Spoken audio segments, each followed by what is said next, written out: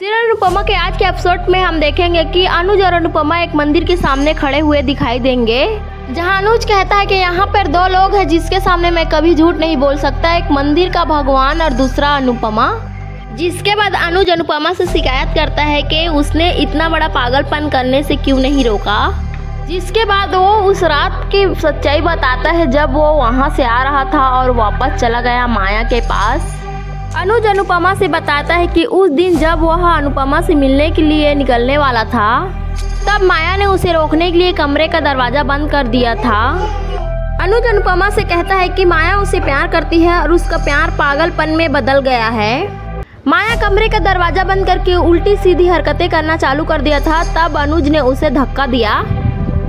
और अनुपमा से मिलने के लिए निकल पड़ा, तब रास्ते में उसे छोटी का कॉल आया और वो वापस भागा।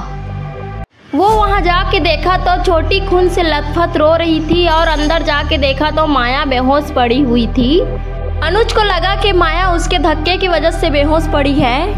वो उसे अस्पताल लेके गया तो वहाँ डॉक्टर ने कहा कि माया का बच पाना बहुत मुश्किल है। बड़ी मुश्किल से उसे होश आया तो अनुज का नाम लेकर चिल्लाना शुरू कर दिया। ऐसे में माया को ज़िंदा और ठीक रखने के लिए उसे वहाँ उसके पास रुकना पड़ा। अनुपमा, ये सारी बात सुनकर बहुत हैरान हो जाती है। सीरियल अनुपमा के लेटेस्ट ट्रैक के लिए हमारे चैनल को लाइक एंड सब्सक्राइब कर लीजिए।